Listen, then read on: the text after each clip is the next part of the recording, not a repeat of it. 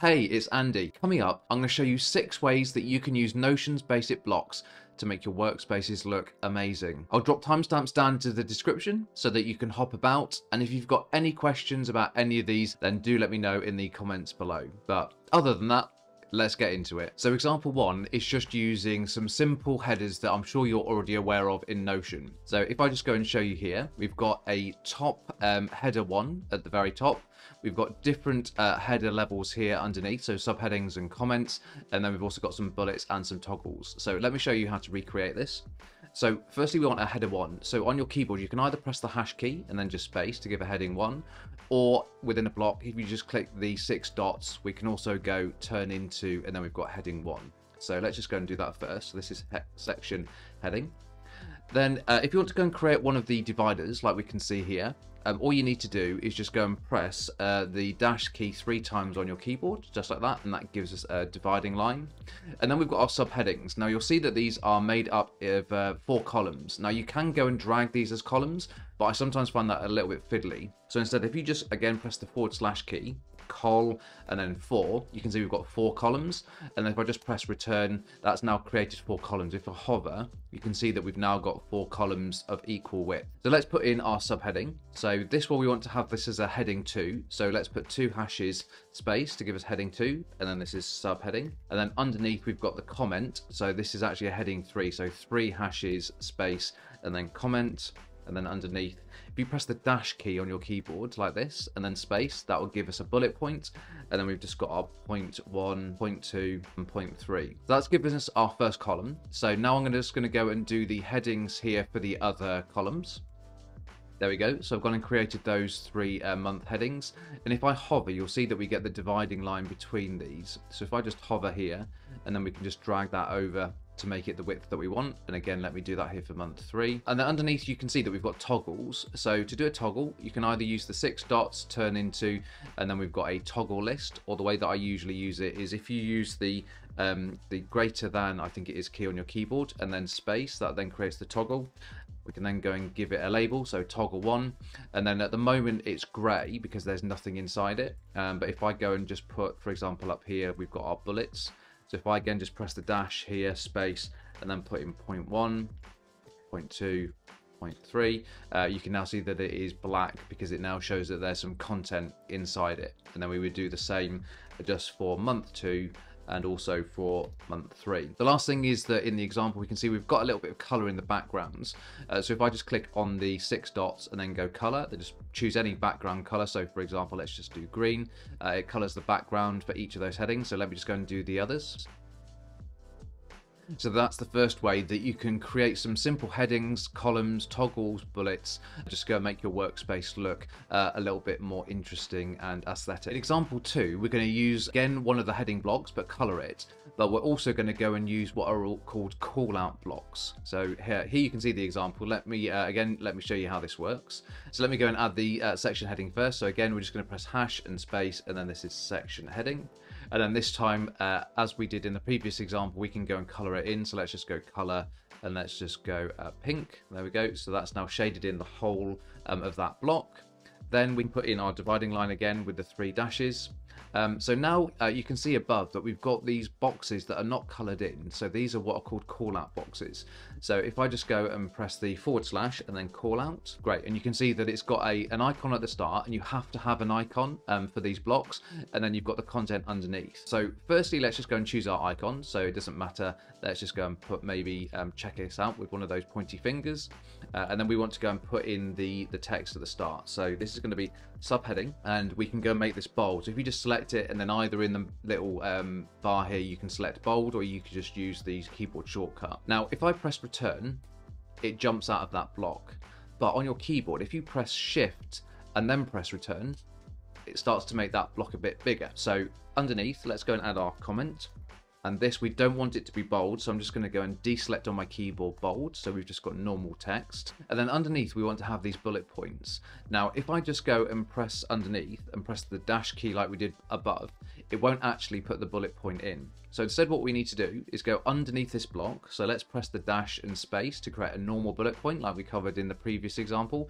Now if I drag that into this call out block, we've now got a bullet. Let me just get rid of these spaces. So now we've got a bullet list uh, within our call out block and we just can just go and do point one and then press uh, return point two and point three.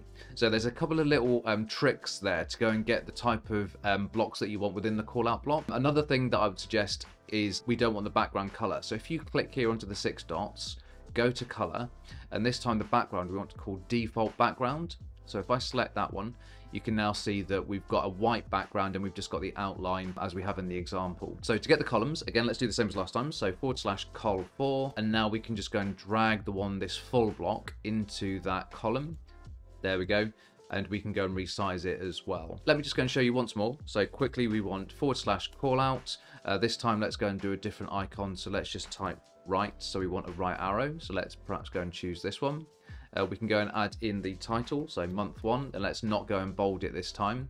Again, remember to go and make that block, the uh, call out block bigger, press shift and then return, and then let's just type some text in this month. Great. Now you may see above that this looks slightly faded and that's because I've actually made the um, the text grey. So again, this just is differentiating different um, importance of information. Uh, there are lots of different ways to do it. So in this instance, we could go and select grey as the font colour just to show that it's some form of subheading. And then again, to do the bullet points, just press dash outside of the call out block to create the bullet and then drag it inside until you get the horizontal line. And then we can add our points. So point one, point two, and point three. Great. I won't do the other two, but you get the idea. We can resize them. So that's how you can go and use call out blocks to give a little bit of interest and structure to your layout. For option three, we're going to do a similar thing, but instead of call out blocks, we're going to use quote blocks. So let me show you what this looks like. So again, we've got our section heading that's shaded in, our horizontal line, but then we've got, you'll see these are quote blocks and they've actually got a thick line on the left hand side. So let me show you how this works. So again, we'll quickly do a header. Now, rather than doing the hashes, you can also go forward slash and then just select what type of block you want. So we could go heading one, and this is going to be our section heading. And we can go and uh, shade that in like last time. So just hover over the six dots, go to color and let's make it blue. So we've got a blue background, three dashes for the horizontal divider Great. So let's put our four columns in uh, first this time. So four columns, press return, um, and then we want to have our subheading. And as I said, as I said uh, just a minute ago, this is going to be using a quote block. So if I press forward slash and then quote, um, there we go, and then press return. So you can see that we've got space for our text and then this, this uh, vertical line on the left-hand side. So let's just put in the title, so subheading. Now, two things. Firstly, is we can make this bold by using the usual bold um, in the toolbar, underlined italics, etc. Uh, but we can also change the size of these quotes. So if I go to the six dots, we've actually got quote size. Now, because this is a heading, let's make it slightly larger. So I'm going to select the large option here. There we go. So we've got our subheading. Then we can go and put our comment underneath and then just the dashes to put our uh, bullet points, so point one, etc, etc. So let me show you what a regular heading looks like here. So if I go into our second column, again forward slash and then quote, and then return, and then month one, so type that in. So other options that we've got are, firstly, we could use that as the regular size, but we could just go and bold a certain part of the text, for example, so just month one.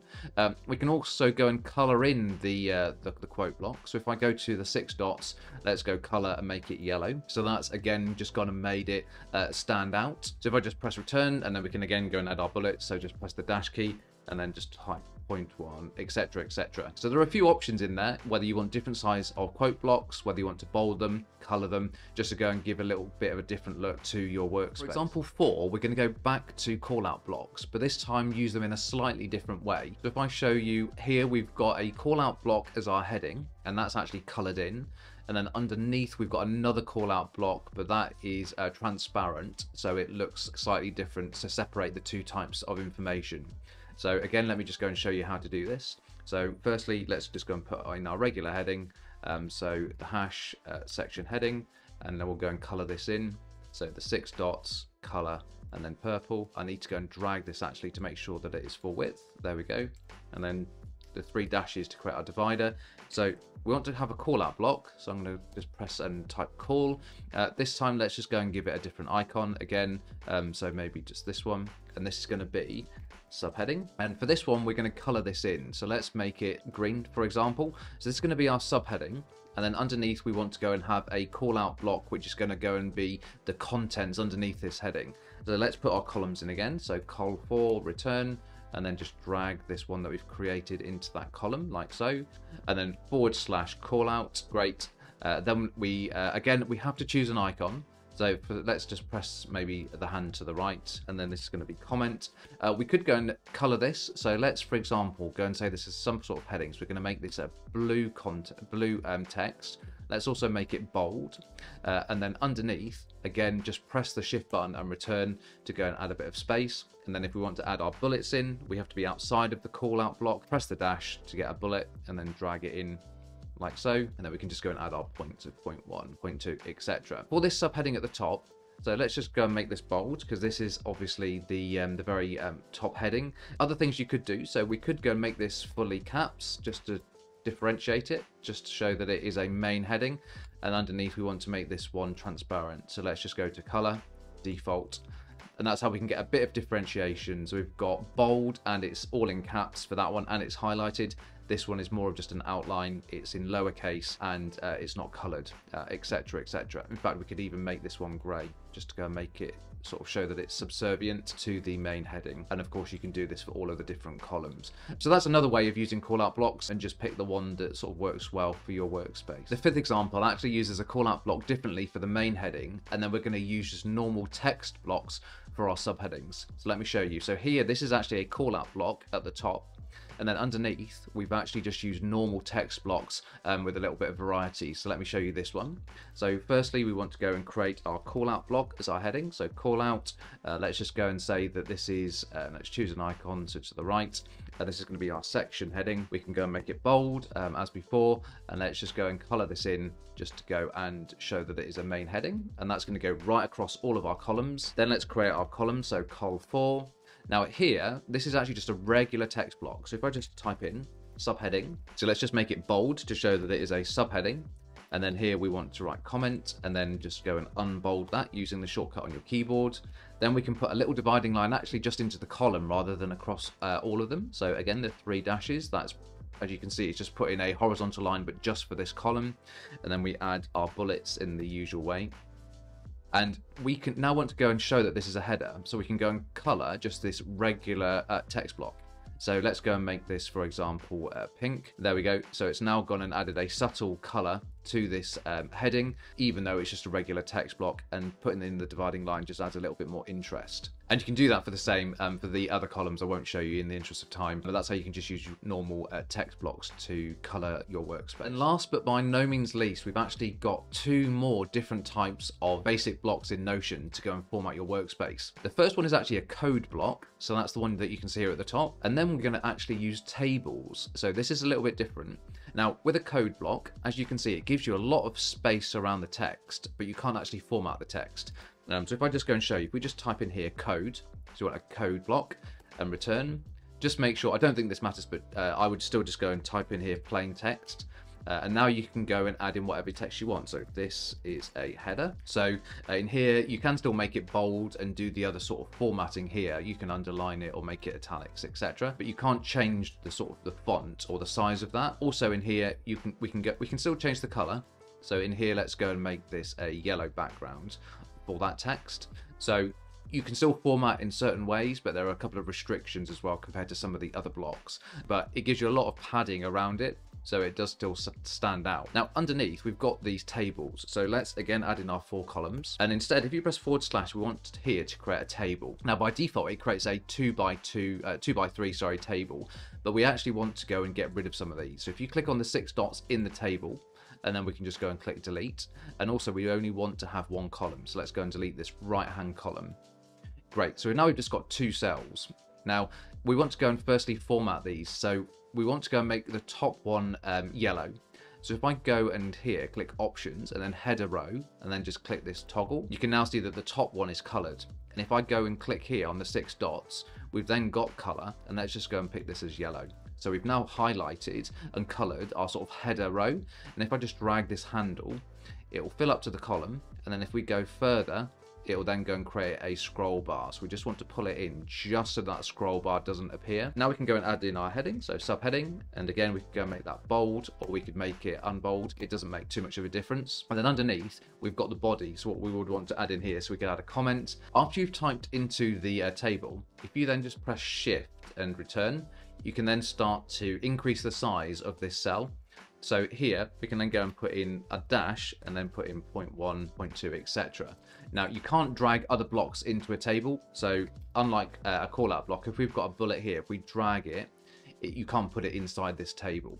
So if you do want to have some sort of bullet callout, uh, then just use a dash instead. It still works just as well. Again, we could go and color this. So we could make this a different color by selecting the six dots within the table and be careful because you've got the six dots for the whole block and then you've got the six dots just for that cell. So click the six dots, uh, we can go color, and let's just go and make it, I don't know, blue. There we go. Um, and you can go and create the, um, the differentiation. So there are loads of different options there across all of these different examples for ways to go and add some structure, some color, some interest, some hierarchy, just to go and differentiate between different parts of your workspace. So I hope you found that useful. Do go and hit the like button and hit the subscribe button. It really helps with the YouTube algorithm and for more people to see this video. Again, if you've got any questions, let me know in the comments below. If you do want to know more about how to use Notion, then check out this playlist where I've got loads more videos. But other, thanks so much for joining me and I look forward to seeing you in the next video. See ya.